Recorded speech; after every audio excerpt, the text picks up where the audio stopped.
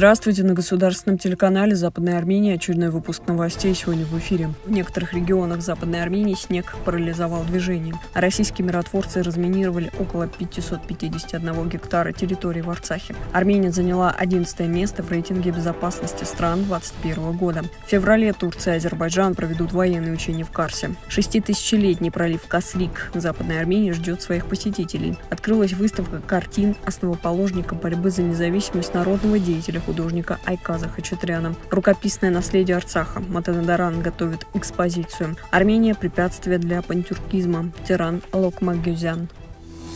Центральных и южных горных районах Западной Армении снег, выпавший со вчерашнего дня, парализовал дороги. В частности, полуметровым слоем снега покрыты районы Баберт, Ван, Муш, Ерзанка, Сосуна, Харберт. Большинство горных межпоселковых дорог закрыто. Только в Ванском районе 52 деревни отрезаны от внешнего мира. Похожая ситуация и в прибрежном районе Трабзона. Из-за сильного циклона в мире шторм силой 3 балла. Осадки на большей части территории Западной Армении прекратятся только 20 января. Но в большинстве регионов по Параллельно с прекращением осадков установятся холодные северные воздушные массы. Столбик термометра в некоторых районах опустится до минуса 32 градусов.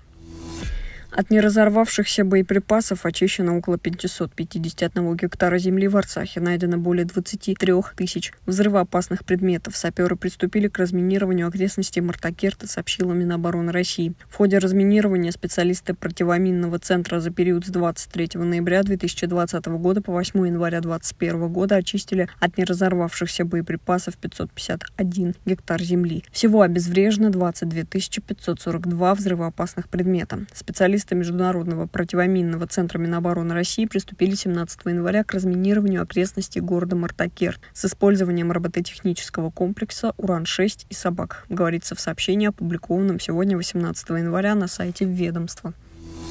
Армения заняла 11 место в рейтинге безопасности стран 2021 года, опубликованного на сайте глобальной базы данных Нумбео. Всего в рейтинг безопасности включено 135 стран. Отметим, что по сравнению с прошлым годом Армения спустилась на две строчки. В рейтинге 2020 года республика занимала девятое место. Соседняя Грузия опередила Армению на одну строчку, заняв десятое место. Азербайджан оказался на 32 месте, Турция на 51, а Иран на 88. В первую тройку стран в рейтинге безопасности вошли Катар, Тайвань и Объединенные Арабские Эмираты. Турция проведет военные учения в Карсе с 1 по 12 февраля. В них примут участие азербайджанские военные, сообщает Интерфакс Азербайджан со ссылкой на турецкое издание Хабертурк. Учения пройдут в карте с 1 по 12 февраля. В учениях, в которых также примут участие ВС Азербайджана, будут задействованы танковые роты, артиллерийские батареи, снайперские команды, личный состав командования спецназа, спецназовцы и вертолеты, отмечает издание. Напомним, что Карс является неотъемлемой частью Западной Армении, ныне оккупированной Турцией. Любая деятельность на указанных территориях, если она не согласована с властями Западной Армении, является международным преступлением, и запланированные военные учения не являются исключением.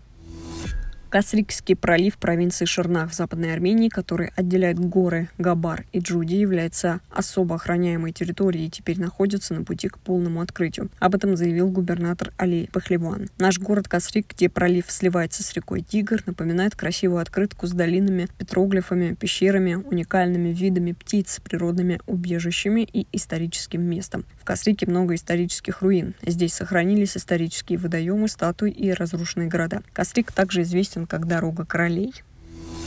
В Музее литературы и искусства имени Егиша Чаренца сегодня впервые были представлены картины национального деятеля, основоположника борьбы за независимость Армении, основателя Национальной объединенной партии художника Айказа Хачатряна, сообщает газета «Аравод». Организатор, руководитель Центра армяноведения ТИР, проживающий в Москве, наш соотечественник Давид Агаджанян, приехавший в Ереван с первых же дней войны, осуществлявший важные организационные инициативы. Выставка организована в литературно-художественном музее имени Чаренца не случайно, ведь этот музей – очаг, наполненный национальным духом. Здесь хранятся личные вещи представителей разных этапов освободительной борьбы Армении – Микаэла Налбандяна, Рафаэля Подконяна, Рафи, Вагана Теряна и других. Мы стремимся объединить широкую общественность вокруг национальных идей, потому что сейчас существует проблема суверенитета в государственной системе, а ситуация в политической жизни нестабильна. Мне кажется, такая консолидация приведет нас на правильный путь, отмечает Давид Агаджанян.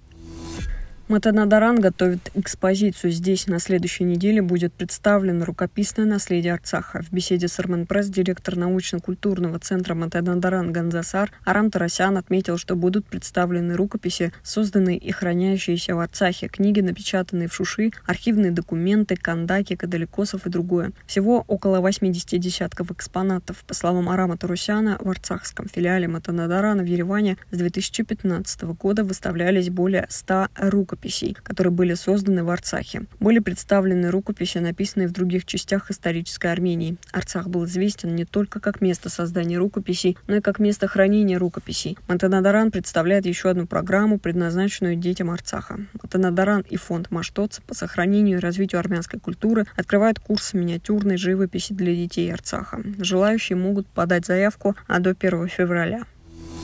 Напомним, что сегодня в нашем эфире вы можете посмотреть интервью директора Центра ближневосточных исследований тюрколога Тирана Локмагюзяна. На сегодня у нас все. Далее мы представим вашему вниманию Нениш Най Барсех Каначан.